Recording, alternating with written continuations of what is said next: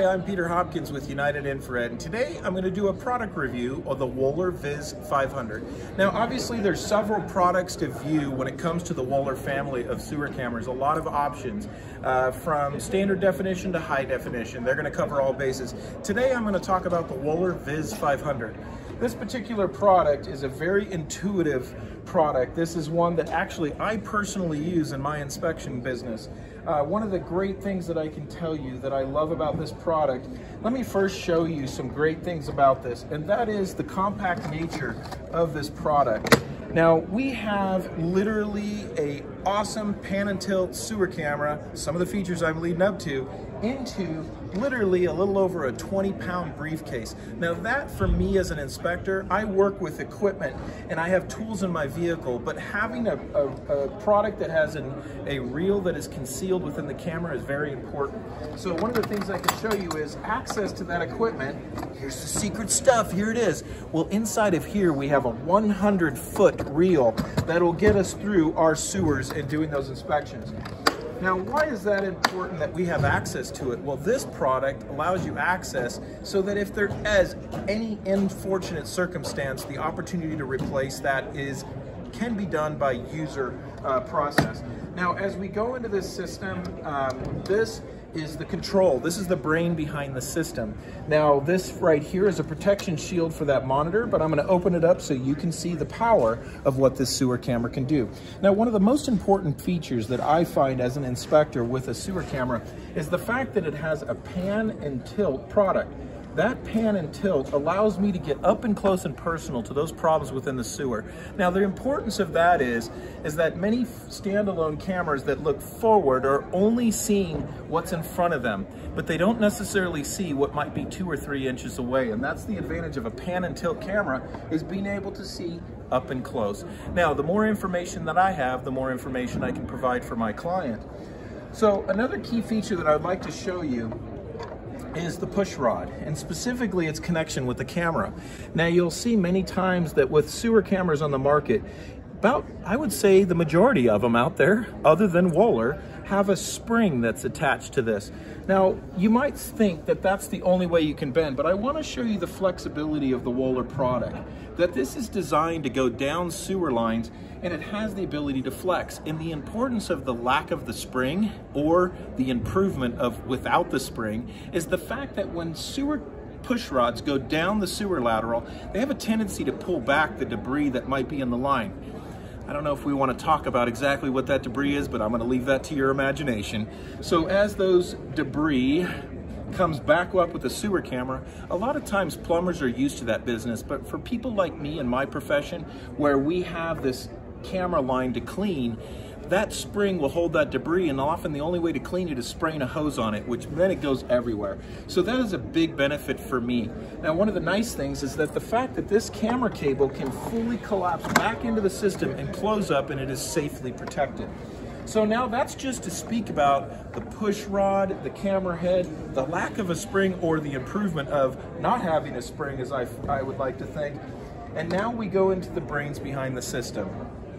This control panel allows me to do fully features from, I can take video and at simultaneously, I can use the camera so I could be recording video. It has an internal memory and then I also can take photos at the exact same time. So that's a big benefit because as you're going down the sewer, the ability to save those photos.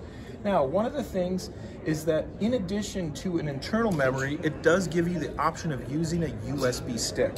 So down on the bottom of this device is a plug-in for the USB protection. So as we install a USB drive and somehow it's designed for that. So you can actually have the monitor up and most USBs will still fit coming off of that it'll automatically recognize that USB stick and now it will save with that. So those are some of the cool things about it. What you can notice on this screen is one, it'll tell you how much memory you have if you are using an internal memory.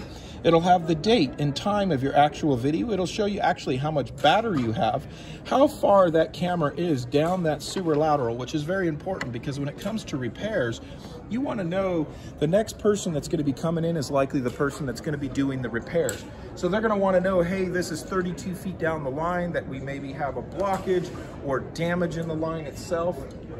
Um, it'll tell you the recording time. And then an important feature right here, if you come up and close and you'll take a look, we can see what is actually level. So as we look at the dark area on this, we can see that where the level is of this device, but you also have the ability to automatically level that image.